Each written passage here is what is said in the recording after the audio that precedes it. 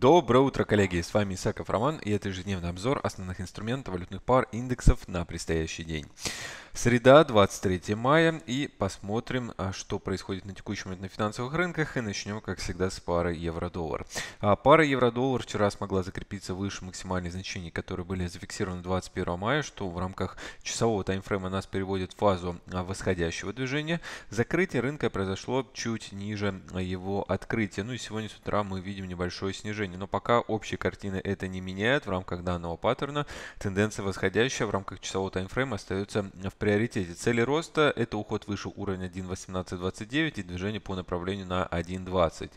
А, отмена данного сценария последует в том случае, если э, цена пробьет минимальное значение, которое было зафиксировано 21 мая, то в этом случае уже мы будем ожидать возобновления нисходящей тенденции с целью снижения до 1.16.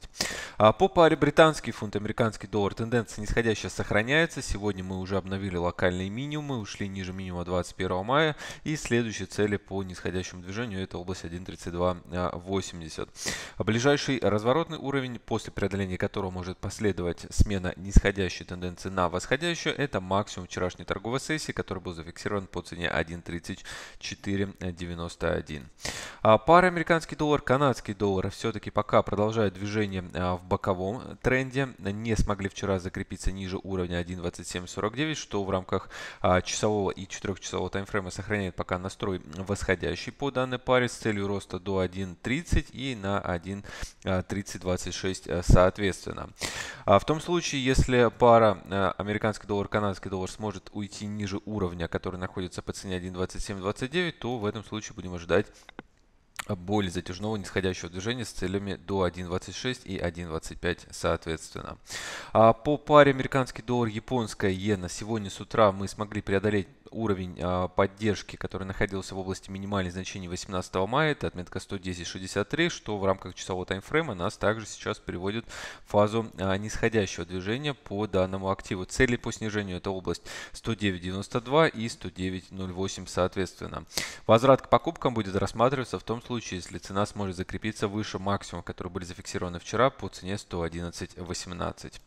А по паре австралийский доллар, американский доллар, общее направление сохраняется в восходящем восходящее. Вчера мы видели обновление локальных максимумов, сегодня а, корректируемся. И важный уровень поддержки здесь находится по цене 75.02, минимальное значение, которое было зафиксировано 21 мая. Пока торгуемся выше данного уровня, основное направление сохраняется восходящее и фактически все снижение, которое происходит, а, можно воспринимать как интересная ситуация для присоединения по данному активу. А, ну и соответственно в том случае, если цена уходит ниже уровня 75.02, то ожидаем более затяжного снижения до 73.97. А по паре евро-фунт э, тенденция э, восходящая, которая начала формироваться 21 мая, э, сохраняется тенденция роста а, преобладает и следующие цели восходящего движения это область 88.46. Отмена данного сценария а, последует в том случае, если пара сможет закрепиться ниже минимальных значений, которые были зафиксированы 18 и 21 мая по цене 87.23. Ближайшая цель это безусловно обновление локальных максимумов, то есть уход выше максимума вчерашнего дня. А, по золоту общее направление сохраняется нисходящее, хотя последнюю неделю мы видим то а, ярко выраженное движение, которое называется боковик. И пока цена не может преодолеть верхнюю границу в области 1296, нижняя граница находится в области 1282. Общее направление сохраняется нисходящее, поэтому цели по снижению это область а, как раз минимальных значений 21 мая. А в том случае, если мы увидим закрепление выше максимумов, которые были зафиксированы по цене 1296, то в этом случае можем ожидать возобновления восходящего движения по данному активу. А нефть марки Brent продолжает свое восходящее движение. Следующая цель роста это область 81.82, а ближайший разворотный уровень пока остается на минимуме 21 мая, это уровень 78.34.